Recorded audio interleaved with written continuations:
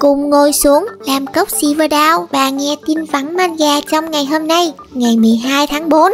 Centuria chap 1 giấu mình trên một con tàu nô lệ. Julian lên đường tới lục địa vĩ đại cùng với hàng trăm nô lệ. Tất cả đều khao khát tự do, cuộc sống hạnh phúc ở miền đất mới. Và rồi, một sự cố bạch tuộc hắc ám đã xảy ra làm thay đổi tất cả. Centuria là tác phẩm của Toru Kuramori, một họa sĩ mới nổi đầy triển vọng đã từng được biết đến với one shot cực kỳ ấn tượng có tên Earth Recording 0001. Hãy thưởng thức chap 1 Centuria vừa mới phát hành miễn phí vào ngày 8 tháng 4 trên Shonen Jump Plus nào hỡi các hương giả. Earth Recording 0001 One Shot trở lại với One Shot được thực hiện bởi Toru Kuramori từ tận 2020. Nhưng trước khi đến với Centuria mới xuất bản ngày 8 tháng 4, các cậu cần đọc thử Earth Recording 0001 ngay để xem liệu điều gì kết nối về mặt thế giới giữa hai kịch bản không nhé. Vì mới chỉ chap một được xuất bản mới đây thôi, nhưng ta có thể thấy rằng chiều sâu thế giới trong Centuria rất là ấn tượng. Có một sự kỳ vọng lớn lao từ Lavi với bộ manga này đó. Đài Đác trang chủ My Animalist chia sẻ bình luận của Kui Hayashida. Đầu tiên, đó là lời cảm ơn của Kui Hayashida tới My Animalist về những lựa chọn cho Should Be Anime 2 năm liên tiếp và sau đó là lời hứa về việc sẽ ra mắt anime Đài Đác quá đã. Các cậu hãy xem trước Doro hay Doro Anime để cảm nhận chất riêng trong phong cách nghệ thuật của tác giả Kui Hayashida nha. Và chắc chắn Đài Đắc Anime sẽ là một bộ rất đáng mong chờ. Rồi, mình biết có nhiều bạn rất yêu thích manga này, vì vậy hãy ủng hộ tác giả Kui Hayashida bằng việc nhấn subscribe kênh của Manga Isra nha. Vì bộ manga này nằm trong diện theo dõi đặc biệt của kênh. Tớ sẽ đưa tới những cập nhật mới nhất về cuộc phiêu lưu của Sanko cùng bộ da của bóng tối. Biên tập viên Spike Family thả tim manga Isra Tin chấn động, manga Isra mới nhận được một tim từ biên tập viên Shihelin của Shonen Jump Plus khi tớ viết tin về bộ manga mới nhất Centuria trên X. Centuria là manga mới ra mắt chapter 1 sáng ngày 4 tháng 8, hứa hẹn là một bộ manga thành công khi chúng ta biết các bộ mà Shihelin phụ trách thường rất là thành công như Chainsaw Man, Spy Family, Dan Da Dan.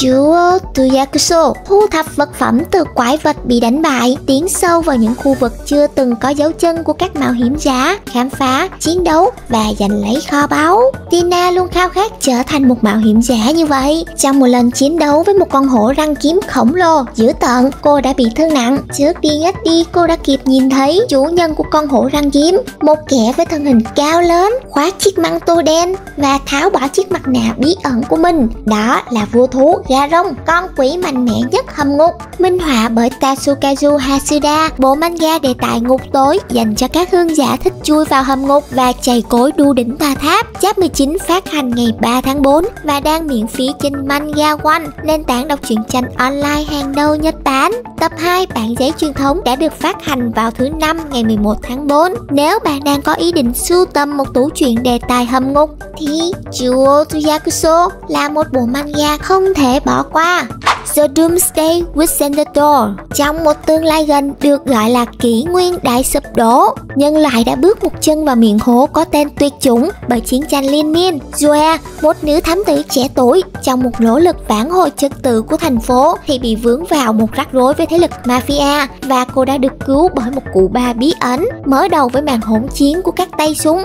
Thám tử, bà cụ mafia, các phương tiện bay drone, người máy khổng lồ, các băng nhóm phe phái không rõ ai địch ai thù. Đúng là một thế giới hỗn loạn. Hãy cùng theo bước chân của thám tử Joe ngắm nhìn thế giới với world building rộng lớn và cùng tìm hiểu những bí ẩn che giấu sau tay súng của cụ bà là gì nhé các hương giả. Verberum Wars of Wars Chapter 67 của Verberum đã phát hành vào thứ hai ngày 8 tháng 4. Tập 2 phiên bản truyện giấy truyền thống cũng đang được mở bán. Các hương giả hãy dứt cơn say mê mật hương và đọc thử manga này vì thời gian đọc miễn phí chỉ còn đến ngày 14 tháng 4 thôi. Link là vì sẽ để dưới phần comment nha. Sati in the town of Falcamis, khu hem, thị trấn tập trung các nhà giả kim.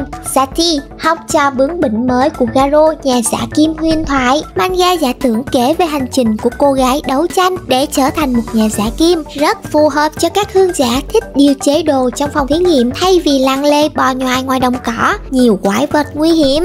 À mà thực ra sau khi điều chế vật phẩm xong Vẫn phải mang ra thí nghiệm trên mấy nhóc quái vật các cậu ạ. À. hmm, Chương 8 đã phát hành vào ngày 10 tháng 4 Và tất nhiên là vẫn có những chương miễn phí để đọc. Hết Silverdown rồi nha. Pha thêm đi, Ravi Ok, đợi chút nha.